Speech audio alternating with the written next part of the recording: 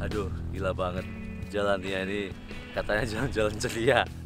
Tapi ini lama-lama banyak kurang ceria. Kita tadi menempuh jalan darat pakai sepeda motor butut ini dari Labuan Bajo ke tujuannya ke Golomori. Nah, itu perjalanan dari Labuan Bajo ke Golomori 2 jam. Ternyata masih harus jalan kaki ke atas bukit 2 jam. Jadi karena kita tidak sanggup, kita berhenti di sini, yaitu di Bukit Selat Molo. Nah, di sana itu adalah Selat Molo yang indah banget, spot cocok untuk prewedding. Nah, kita di sini menikmati Selat Molo sambil nanti menyaksikan jalan ini tiga tahun lagi sudah tidak ada lagi karena jalan ini akan dijadikan sebagai kawasan ekonomi khusus yang sebagian di antaranya akan dikelola oleh ITDC. jadi tiga tahun lagi kita nggak akan menemui jalan-jalan busuk ini. Nanti akan jadi hot mix empat lajur dan saya nanti akan jalan-jalan ditemani oleh warga lokal Warlock yaitu Mr. Man Pak Man ini motornya Pak Man nih ini motor ajaib bukan sembarang motor karena motor ini sudah melanglang buana di sepanjang Pulau Flores Manggarai, Manggarai Barat, Manggarai Tengah kecil apa rahasianya? ini dia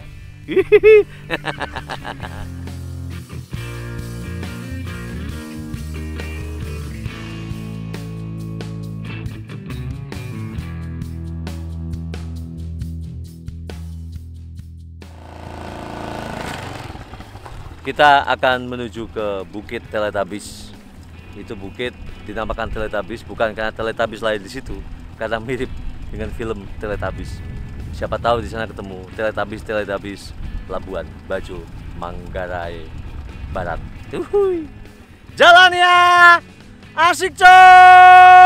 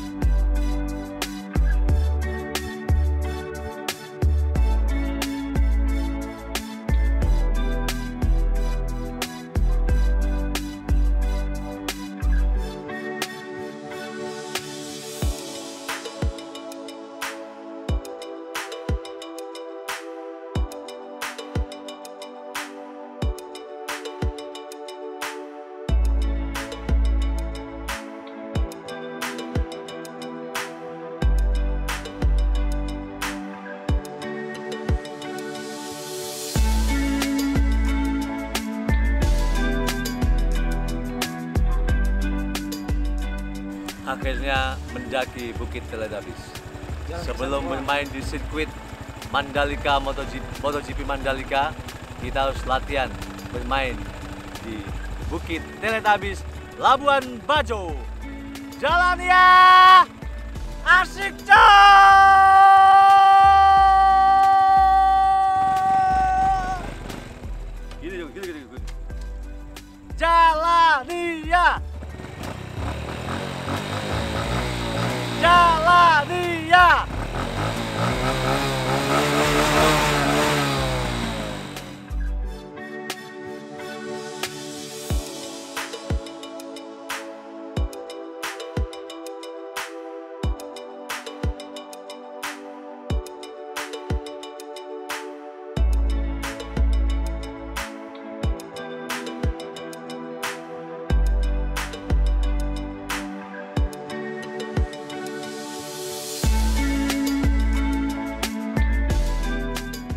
Padamu Bilas aku sungguh-sungguh Gila banget Gokil!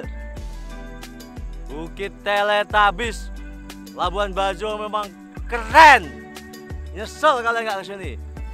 Ayo, piknik Indonesia.